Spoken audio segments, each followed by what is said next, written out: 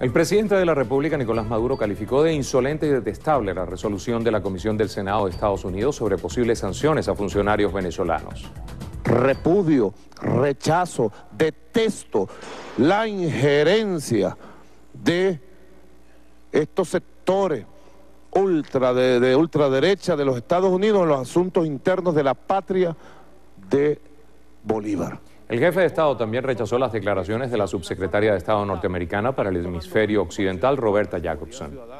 Vino Roberta Jacobson, por ahí están las declaraciones, a decir que en Venezuela no se trata de dialogar por dialogar. ¿Qué tiene que ver usted, señora, con el diálogo en Venezuela, señora Jacobson?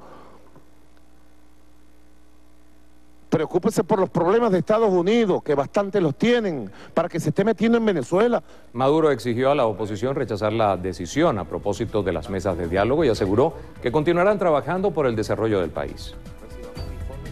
Yo le pido a nombre de toda Venezuela un resultado concreto a la MUT, que repudie las declaraciones de Roberta Jacobson. Vamos a ver qué hacen, pues. Nosotros no vamos a dejar de dialogar y trabajar porque la MUT se vaya. El diálogo sigue con MUT o sin MUT. Sencillo.